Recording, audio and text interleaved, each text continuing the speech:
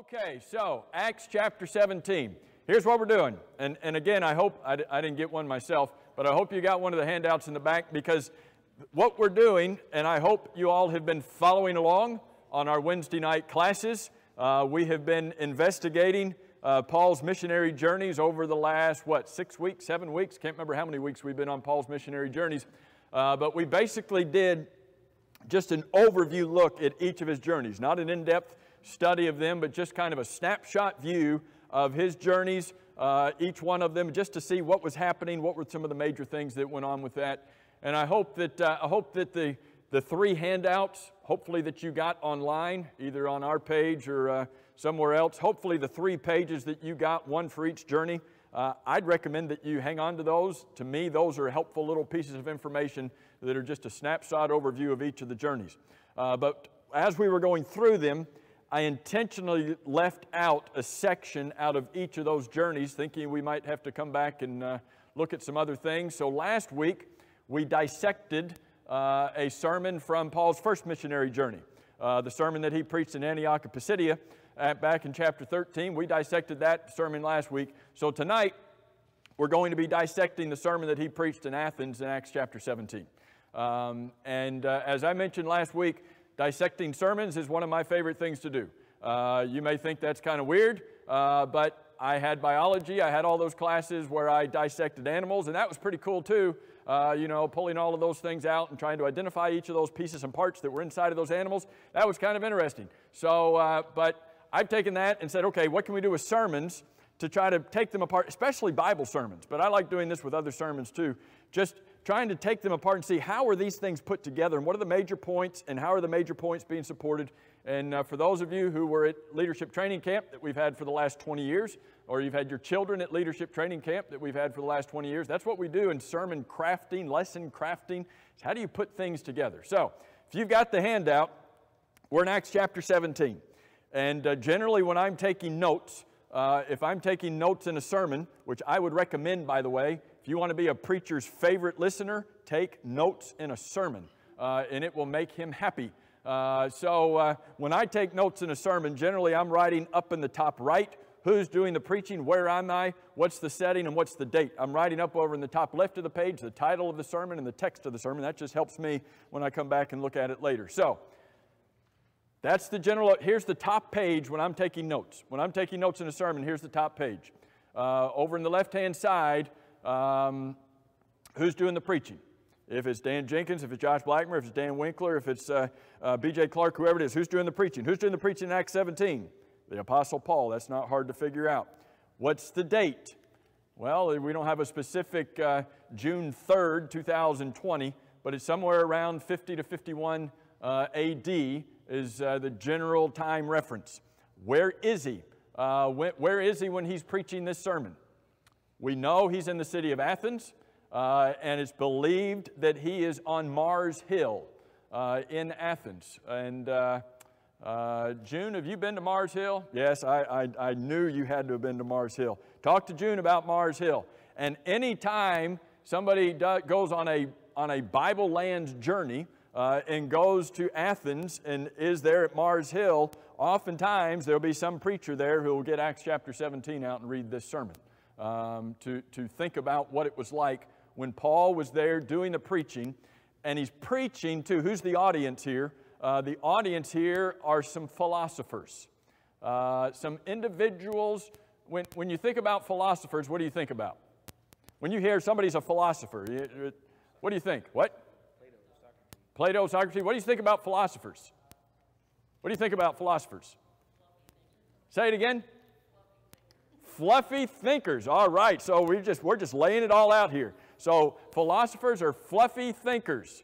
Um, that's, that, that, that, Nicole, can you imagine Nicole Friesman's dictionary of terms and, uh, and, and what that would look like? Um, you think about philosophers, and uh, here, here are people who are high-minded individuals. Here are people who like to think, and they like to tell others what they think.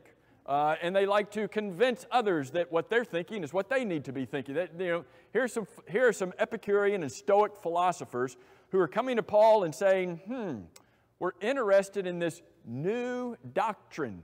uh, that, you, that you are teaching. Look, are you in Acts chapter 17? What, is, what do they say in verse 19?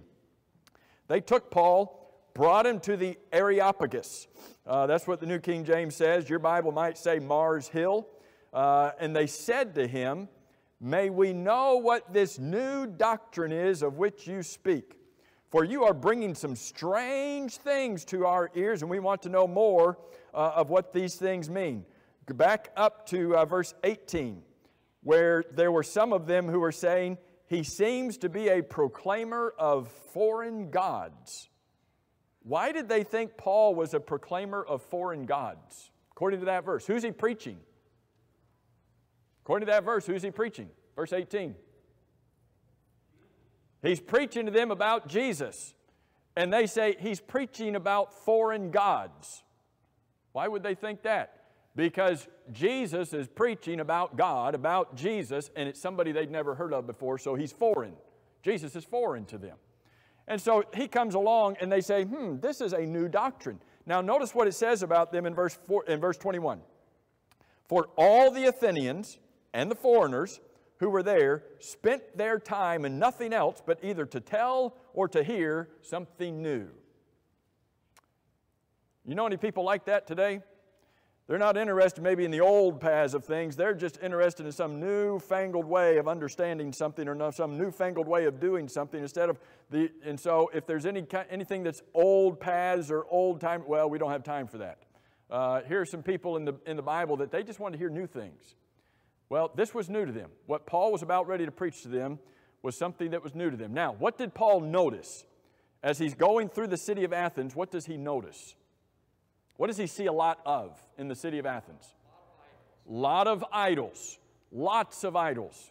It, it was estimated by one historian that during the time of Nero, which is pretty close to this, a little before the time, but during the time of Nero, it was estimated by one historian that there were 30,000 idols in, in Athens, not including the ones people had in their homes, just public idols. 30,000 idols and 10,000 residents. Figure that out. You got a population of 10,000 people and an, and an estimated number of idols, public idols, 30,000. No wonder when Paul's walking through, he sees more idols than he sees people. Uh, and so, but then he comes and he finds an idol to who? The unknown God. And when Paul sees that, you know, sometimes, sometimes a preacher will, will take an object to take something that's familiar with somebody and say, Let me talk to you, let me start my lesson by, by addressing this and bring it to you, bring this to you in a lesson that you can understand, but hopefully a lesson that helps you to become a better person. And that's what Paul's doing here. So, Title of this lesson. The title I would give to this lesson is The One True God. That's, and, and if you wanted an extended, a little bit longer title, The One True God is Not Unknown. They had an idol to the unknown God. And Paul says, there is one true God, and what he gets ready to tell them, he goes on to tell them is, and he's not unknown, he's made himself known. Uh, and obviously, the text is, is what we're looking at here. If I'm taking notes on a sermon, I always write down what is the, what's the scripture reading, what's the major text uh, that the preacher is using, uh, just, to, just for my reference point. Obviously, uh, this sermon starts in verse 22, goes down through verse 31. So, that's just the basics. That's just kind of the basics intro into this sermon. As I look at his sermon, I see four major points uh, and uh, we had three major points last week. I see four major points uh, in, in this particular lesson, and they're not of equal length. Uh, but you start in verse 22 is where the, where the sermon starts. You get down to verse 24, and you see this on your handout. Uh, you get down to verse 24, and I think that's, that's where the real heart of the sermon starts, is in verse 24. Um, and, and I'll talk more about that in a minute. You get down to verse 27, and he, he begins that verse by saying, So that pointing out the purpose for everything that he's just said. I think, he's, I think you could say that's another major point there. And then down in verse 30, he starts the verse with the word truly, uh, which I, begin, I think he's starting to make some real application to their lives. So perhaps four major points uh, in this particular sermon. Point number one, and again, Paul is, Paul is beginning at a some kind of a common ground that they understand, and he's going to build a sermon from there.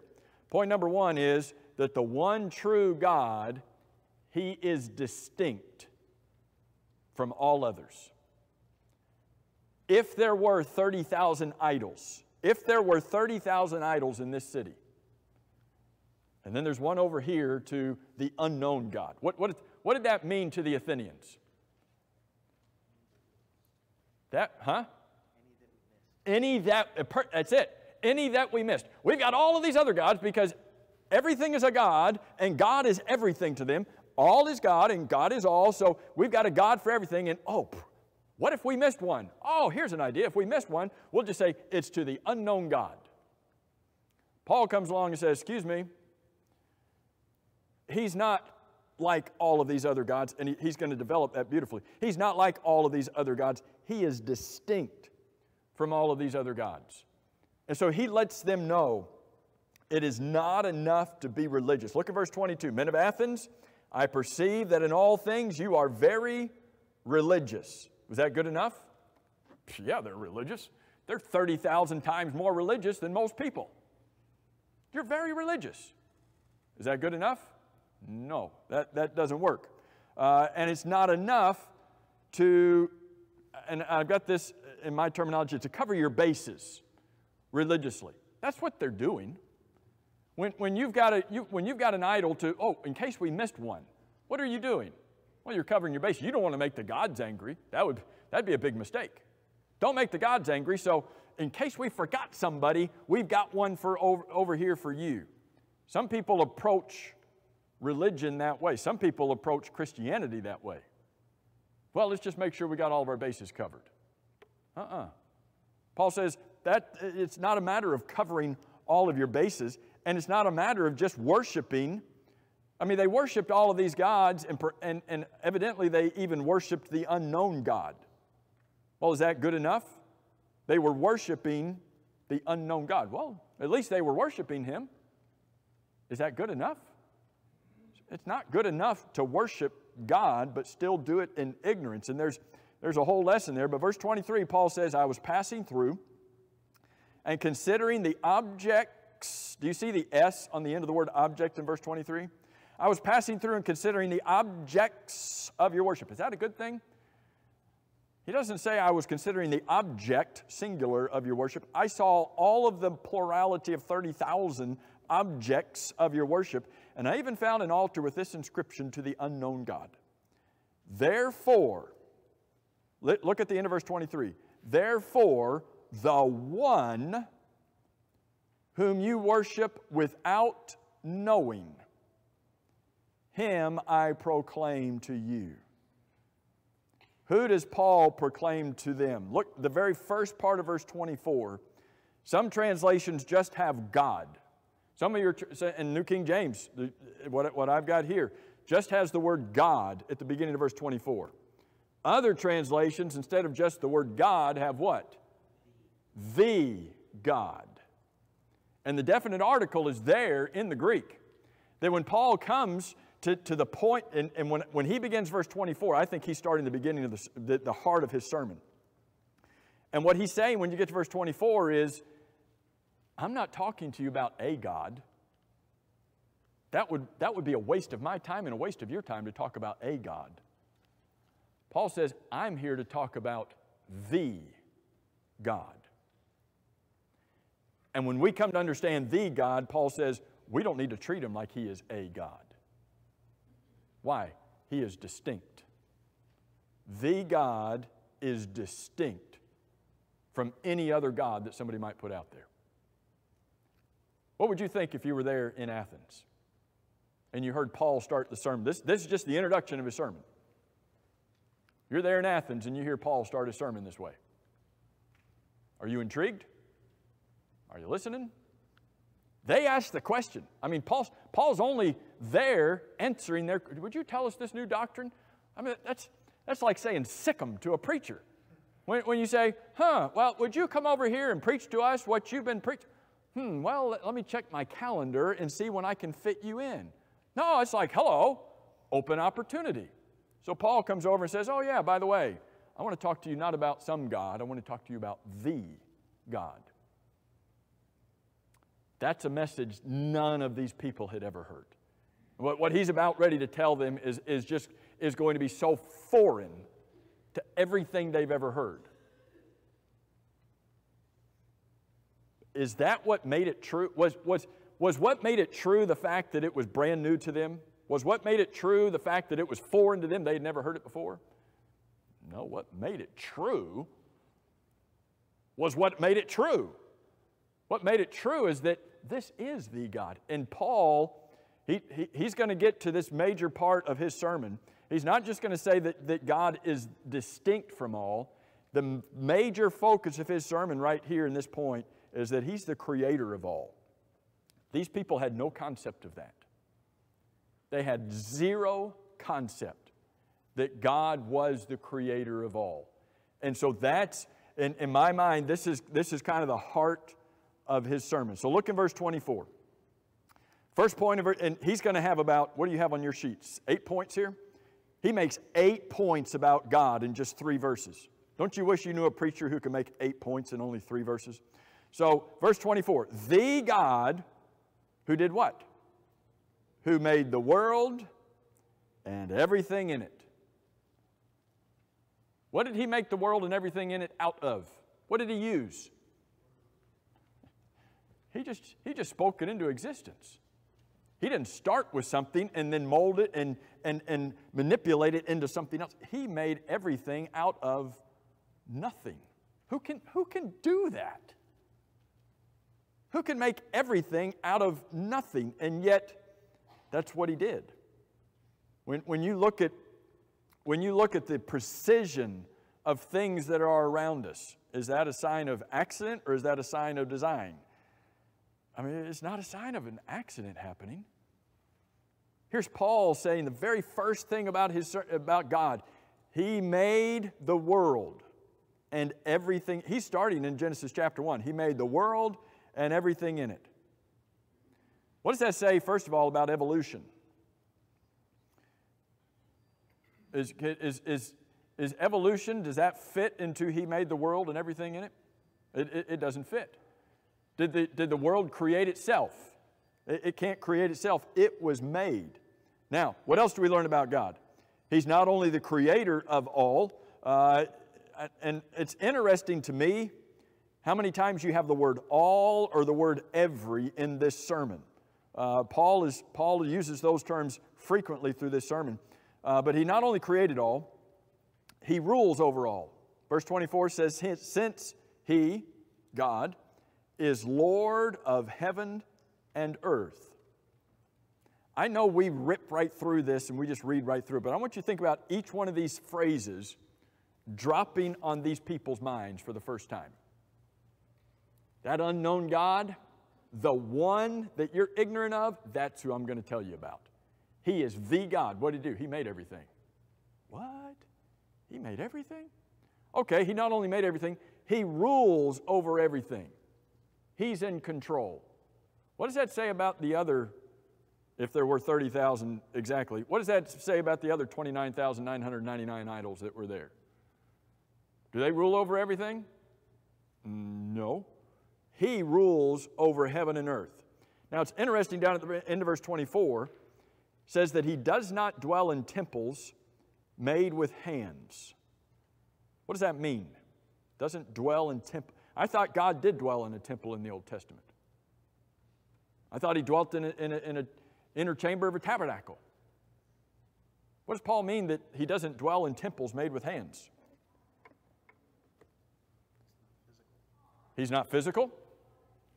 Did God dwell within? Did, did God come and, and have his presence dwell in the Holy of Holies? Yes, he did. Was that the only place God was? Was in the Holy of Holies? Well, no. But that's where he made his presence known to his people, and yet God was omniscient in all places, even at that time. What's he saying about these idols? When, when he says, when he talks to them about God transcends everything, the fact that he does not dwell in temples made with hands. What about the 29,999 of these other gods? They're limited. They dwell in a house that was made for them. And, and, and he's not done talking. He's not done talking about these idols. Look at verse 25. Nor is he, the God, verse 25, nor is he worshiped with men's hands as though he needed anything. That's an, that's an interesting way to say that. He's not, he is not worshiped with men's hands as though he needed anything. What does that mean? Is, I, I thought he is worshiped by man. Isn't he worshiped with men's hands? Exactly. He is contrasting the God with the idols. Where did these idols find their origin? Where did they come from? Men's hands. man made the idols, and then man bowed down to those idols. That makes sense, right? But not only did man make these idols, man came along and put clothes on his idols. And man brought food and laid it down before his. Uh, whatever happened to that food? They brought food and they laid it down. What is he saying? Those idols could be nothing without man. Well, then who's God in that situation? If those idols could be nothing without man, then those idols are, cannot be anything without the service of man. What's Paul saying about the God? He's the God, regardless of what man does. He not, he, he not only transcends all, he, he sustains everything, regardless of what, whether man serves him or not. That's, that's again, that, that's just totally different than what these idolaters would think because they're, they're totally physical. They're totally, well, we made these idols and, and they're nothing without us. And if, if, if they fall over, we've got to pick them up and, and we've got to clean them off. And, and you know, when, when they get dirty, we have to, what? And that's your God? Each, each one of these phrases is not just something, again, we would zip right through this, but I don't think Paul zips through. I think he's just got to stop and let these things sink in their idols are enhanced. Their, their little g gods are enhanced by man's service. The God is God. He's not enhanced by my service at all. But I am. I am enhanced by my service. And, and so it's completely backwards from what they would think. Look in verse 25, where he says, uh, the end of verse 25, since he gives to all life, breath, and all things. Where did man come from? Man got his life, got his breath. Man gets all things from God.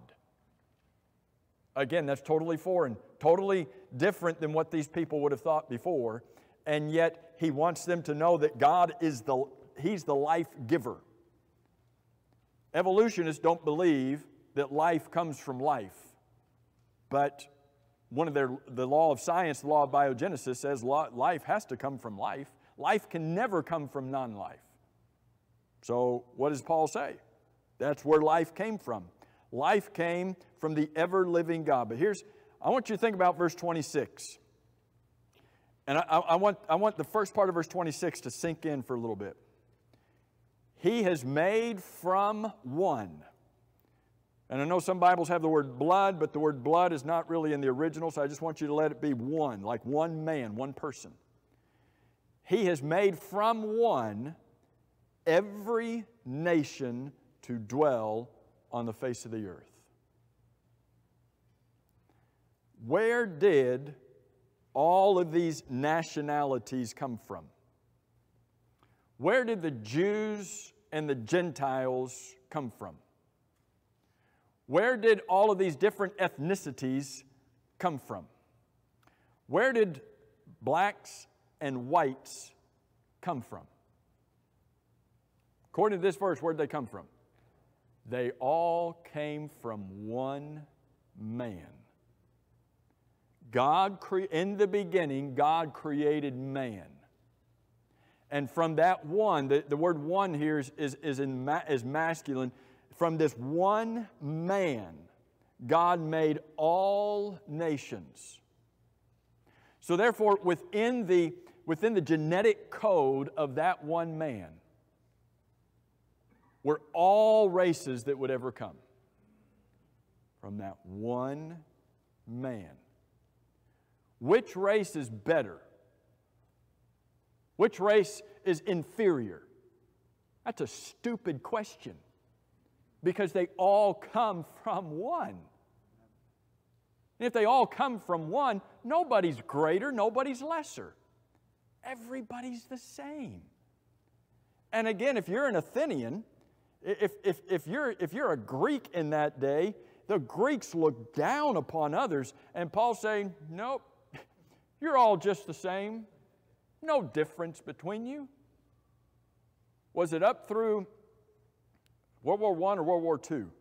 Can't remember. I, I, I, used to know, and now I just now I've lost my confidence in which it is. It was either through World War I or World War II. I think it was World War II, wasn't it?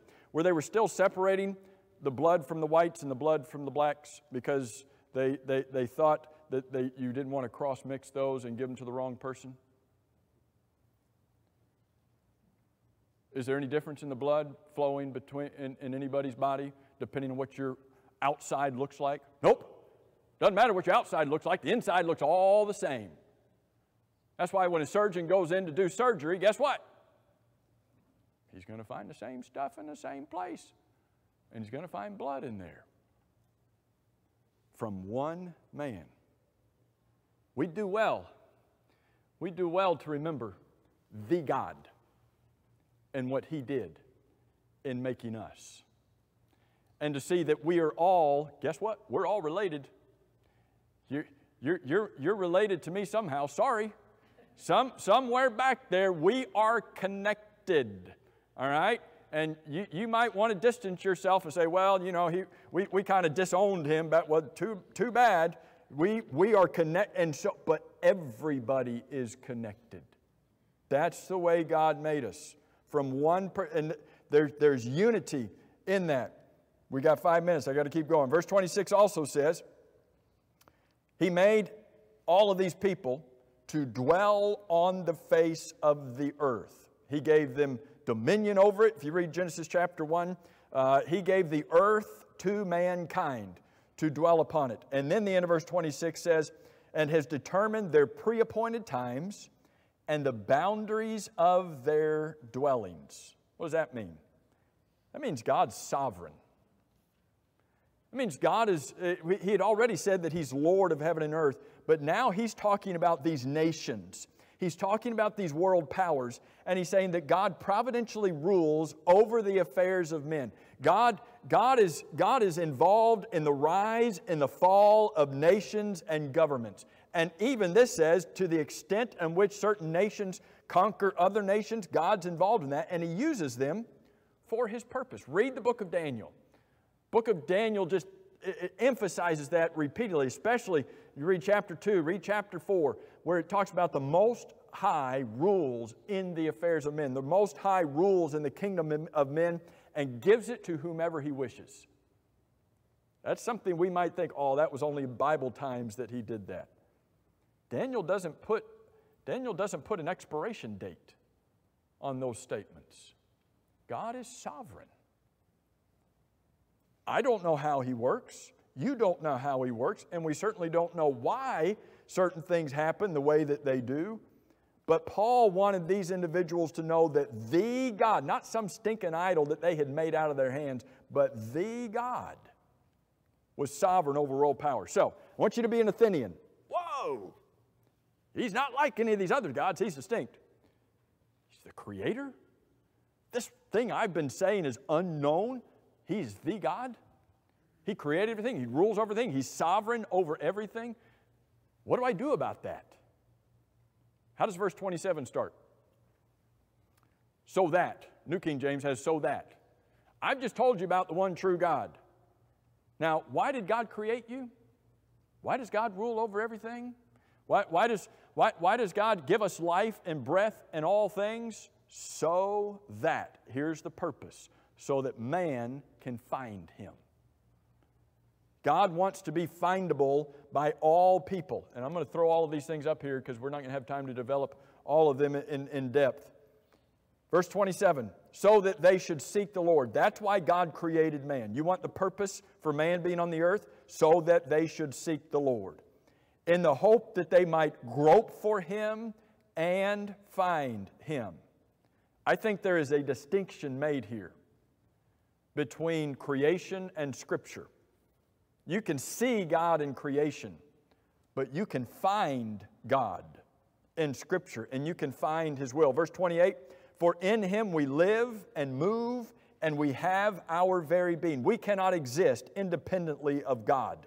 We, and that's, that's none of us. That's, he's not talking about Christians, he's talking about everybody. Verse 29 Therefore, since we, we, that means Paul the Jew and the Athenians the Greek, we are the offspring of God, all of us. We, we did not originate ourselves. We are not, we, we are not uh, some material that has been made by man. We find our origin in God. Therefore, since we are the offspring of God, we ought not to think that the divine nature is like gold or silver or stone, something shaped by art and man's devising. What's his point? You formed this, God, this, this idol, this God, out of gold and silver, and then you bowed down to it. Paul says that's completely illogical. Why, why, why, would you ever say that's your God when you made it? He says divine nature is not something that is formed by man's hands. God made man and not the other way around. Very quickly, his application, in addition to what we've just seen, is that the one true God wants to save all. Truly, that's how verse 30 starts. That's his transition, transition term. Truly, these times of ignorance, God overlooked, but no more. But now commands all men everywhere to repent. Look in verse 31. Sometimes we quote verse 30 without verse 31. Because, here's the reason. Why does he command all men everywhere to repent? Because he's a mean God? No. Because he has appointed a day on which he will judge the world in righteousness. And God wants us to be ready for the day of judgment, so he tells us to repent. We'll be judged by the man whom God has ordained. That's the Christ. He has given assurance of this. God has absolutely given a guarantee that he is going to judge all of mankind, and the guarantee is he raised Jesus from the dead. You're an Athenian and you just heard this sermon. What are you thinking? If I'm there, I'm thinking, I need to think about this for a while. I've never thought about anything like that. I, have never considered anything along this line that there is only one God, only one true God, not many, and that this one God made me, and He made me so that I would seek Him. Not make Him, but seek Him and find Him so that I can be saved and be ready for the judgment day. I think I need to think about that. And so, what happens at the end of the sermon? When they heard of the resurrection of the dead, some mocked, but others said, We want to hear you again on this matter. Verse 34 Some joined him and believed. Some became Christians. I don't know if the listing of names here is indicative of just how few there were, but there were some people who said, This man's teaching the truth. What he said about the God, there's no other explanation for the truth than what he has presented here. This is what, in my opinion, this is one of the greatest sermons in all of the New Testament. Obviously, they're all great because they're inspired of God. But here is a sermon preached to people who did not believe in God. Tell me what punches Paul pulled. What, what, what, what did he hold back? What did he say? Oh, I, I'm not going to give him this one. He unloaded it all. He gave them eight points about the, the God who made them all. He says, you, this isn't something that is possibly the truth. This is the truth about the God. I hope, that's, I hope you've enjoyed this study. This is quicker. I, I think Paul took longer to preach that than just 35 minutes. But um, they, they, they, had to have been, uh, their lives had to have been changed by looking at that.